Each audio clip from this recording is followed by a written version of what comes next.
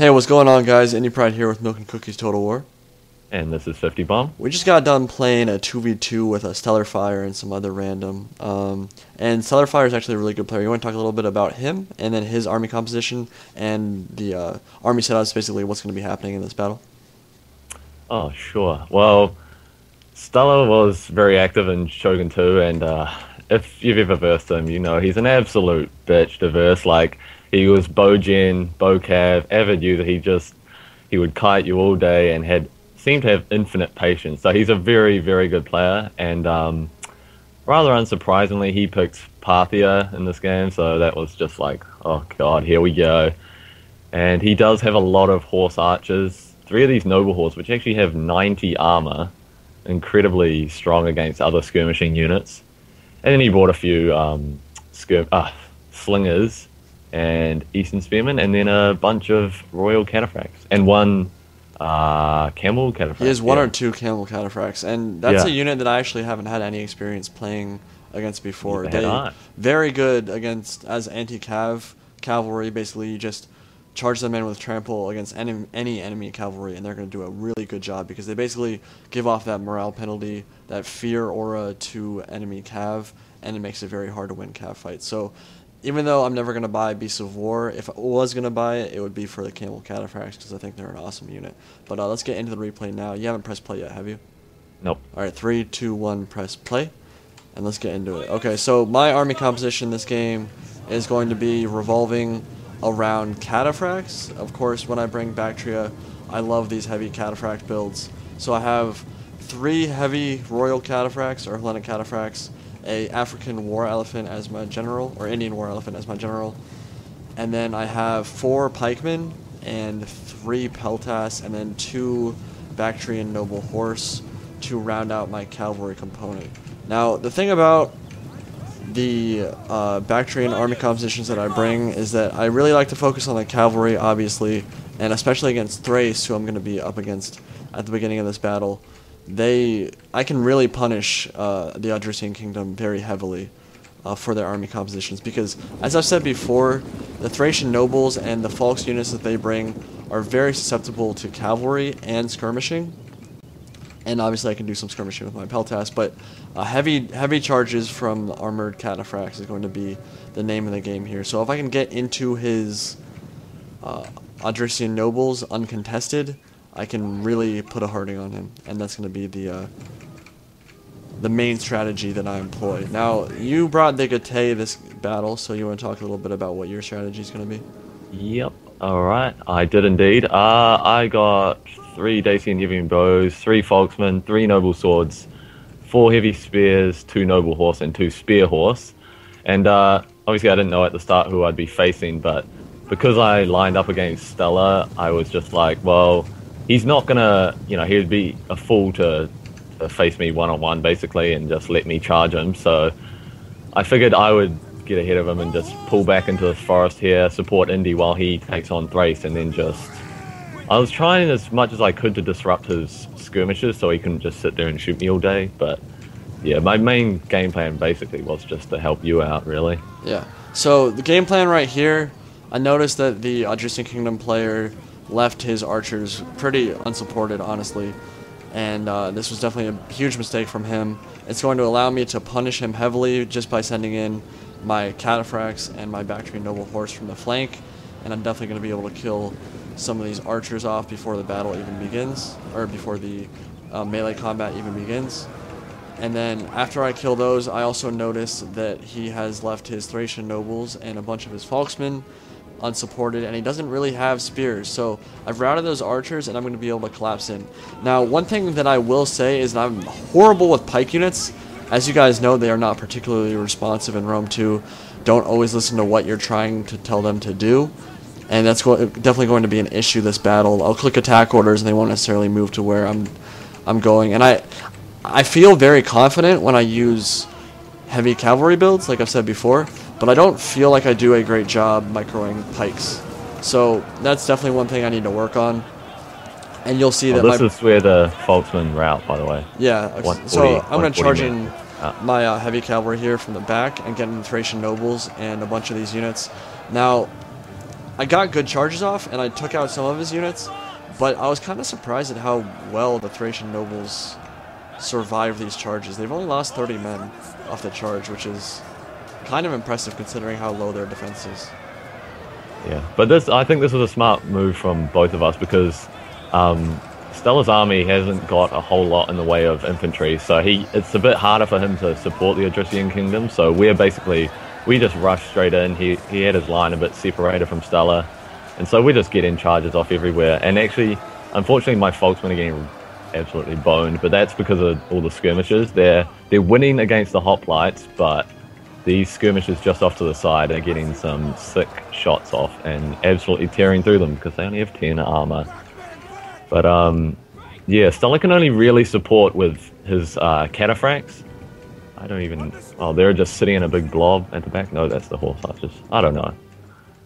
Yeah, They're well, just yeah. well, one thing that Thrace is, or the Odrysian Kingdom is definitely doing right now is he is very blobbed up and he's not really committing his cavalry, which again is a mistake. I feel like he was kind of at a loss at what to do with them. Now, what he should have done is committed them to my Hellenic Cataphracts because even though one on one they're not going to be able to beat Cataphracts in melee, uh, they will be able to do a lot of damage backed up by other units, especially by Parthia, who over in the back here has gotten a Camel Cataphract directly into my Hellenic Cataphracts, and he's going to start winning this melee combat pretty soon here. So I did try to reinforce with the pikemen, but he's done a good job bringing over some horse archers. He's going to get rear shots off into them.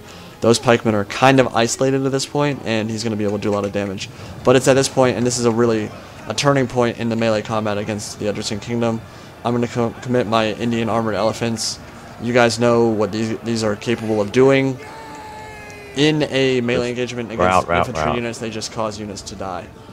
Everything dies basically. So they've only been in combat for 10 seconds or so. They're up to 88 kills. And I did notice though, and of course this is what a smart player would do, Stellar's going to start shooting in on them with the slingers, so I have to pull them out, try to get the elephants away so they don't run amok and start killing our own guys. And you do a good job, Indy. Well done. Thanks. So what are you trying to do at this point in the battle? Um, well, Stella mismarked some Eastern Spearmen, which was his only infantry support for his skirmishes, so I just wrapped him up, killed them off real easy. And I do make a mistake here because this is where I start to confront the cataphracts. There's only two of them here. I've got all my cav units, two spears to support. I was like, I can do it. I can do it, guys. I can do it. I can't do it. Like they just they tear through me pretty well, not quick, but they'll And get some. these are spear horsemen or noble horsemen that you committed in the melee? Uh, there's two spear horse and one noble horse in there. Okay. And my gens are. He's going to come around the back eventually. Eventually, yep. He's coming on his way now. And I really thought these two units would die, especially with these two spears in here, but they just don't.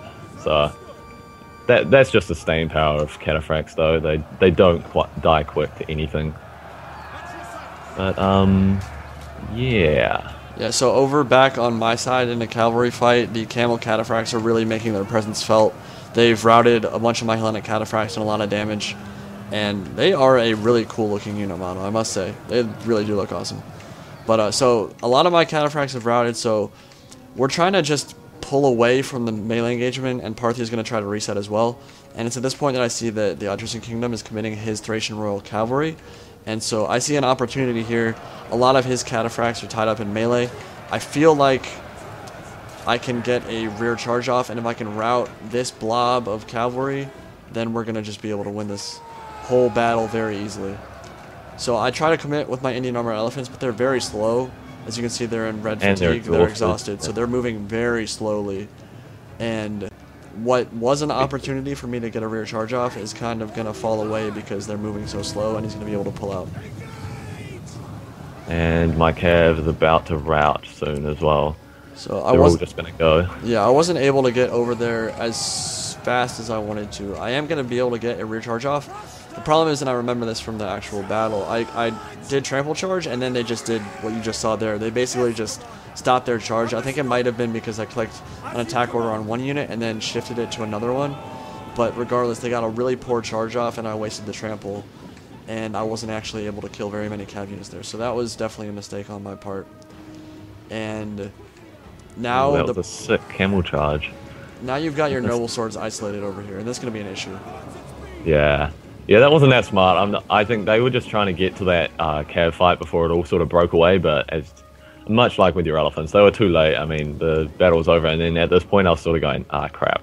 Because once again, exhausted, three units of cataphracts here, I'm just going, how am I going to get out of this? And unfortunately, I'm probably not going to be The able an- to. yeah, the answer is that you're not going to be able to get out of it. So now it's fine because these noble swords have already made their presence felt on the battlefield. They have 247 kills at this point. A lot of kills. They really did very well. But they're also at 130 men. So when you have a full strength unit like that, you Yeah. want them to keep fighting because I mean, 130 unit noble sword could kill a lot more men at this point in the battle. Unfortunately, they're going to get trample charged, lose about half the unit or maybe 25% of the unit off that charge, and he's going to try to pull away. But of course, you're not going to be able to outrun cataphracts, so yeah. they're going to die. This is a shame. A mighty shame. And at this point, I also just thought, hey, maybe I'll be able to take out a few of these Falxmen while I'm here. But, yeah, it's going to be a sandwich. A nasty sandwich. I hope you're getting this charge. I will. Uh, sad face. So they're gonna die, and it's at this point that Parthia has the mobility. They still have the skirmish units. They still have the cavalry advantage. So we kind of have to just chill in the forest and have them. I wouldn't say waste their ammo, but we can't be standing on the open plain with all of these Yeah. units. And we were just consolidating at this point as well, just getting everything in, Yeah. sorting ourselves out. Yeah. it- basically, I like to call it just like resetting the situation. Like Yeah. you kind of lose micro after a while. Like you'll kind of lose track of where your units are, and sometimes it's good to just reset your guys, pull them out of the fight, see what you have left, count your dead, and move on to the next engagement. So that's kind of what I- we're going to be doing here. Yeah, I always I always lose my groupings partway through. Eh? Like if I if I um, pull units out of groupings or put other units in that is different from the way I started, then I'm like, oh, what's happening? Where are these guys? I don't know. So, Yeah. yeah, it's good for this. So yeah, you could probably say this is a new box here, but I'm not boxing with pikes. We're gonna just wait, weather the storm, and we still have skirmish units, and that's our biggest saving grace right here is that your th- your heavy bowmen are gonna be able to shoot out and kill these slingers pretty easily, and his slingers don't really have the armor piercing to be able to shoot into forest and still get kills. Yeah, and I had still about half ammo at this point, so that was that was pretty big because it meant that well, we had the opportunity to actually compete in a skirmish battle. I mean, yeah, slingers would have more ammo, but still, it was good. I and am luckily for us, actually, sorry, That's that right. Stella doesn't just completely sit here and wait till he's used all his ammo because that would have been incredibly boring. Yeah. But He has a full strength royal cataphract unit with 223 kills, and then he has some noble horse archers, which are actually quite good in melee as well. So he'll be able to commit those. They're very hard to kill. Like normally you think of horse archers, very glass cannon, like you can just kind of run through them very easily. With the noble horse archers, 85 health, 90 armor, they Yeah, fight for a very long time, and they actually have a decent charge too. So, su not super easy to kill. And when he runs out of ammo, which he might be out of right now, he'll commit them to melee. I should have gotten this sooner. Falxman gonna get absolutely shredded by my Peltast and your Bowman. yeah, and of buddy. course, with 10 armor, die very, very quickly. And right here, we're trying to catch Stella's general because he actually he charged into my heavy spear, and I braced for it. But I mean, it's still going to be a pretty big charge from the Royal Cataphracts. Yeah, and I try to uh, I try to catch them with my armored elephants, but okay, again they're exhausted, so they weren't actually able to close that gap in time. But they're closing the vice now. They've got us in a nice round. They've got Cav there, and they're gonna start coming in with their Cav on this side as well. And they're just gonna try to come in and surround us and cause a chain route. The good thing is we still have pikes left, so we can brace those in multiple directions. And I still have a full strength Indian armored elephant, so with the cataphract and the Indian armored elephant, gonna blunt the charges of the enemy cavalry, and we should be able to do some damage in melee here. I actually turned skirmish off for my um, skirms here because because with this gen running around in there, I didn't want my guys just running in random directions trying to get away. I just turned it off and all targeted on his general to try and bring him down. Because obviously that was going to help us a lot. Um, these skirmishes will have very very low morale. Even with the cataphracts, actually, just killing his gen would be huge for us. And we will see if that will prove. Yeah, So- these noble horse archers are getting pretty chopped up now, though. Yeah, I mean they're committed against in- Indian armored elephants, pikemen, Yeah. and your spears. They're not going to have a fun time. And it's at this point that we've basically won the battle. I mean, they got. I mean, we're surrounded, but we have much more substantial units left. They have half strength cavalry units, and that's basically it. But I have full strength pikes. Cavalry's obviously not going to be able to make very much of a dent on that. And then you still have some armored spears left, and basically they're just going to mass rout pretty soon here.